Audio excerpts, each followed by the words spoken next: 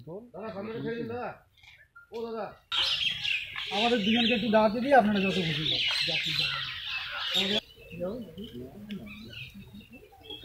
ওই ব্যাট করা তো।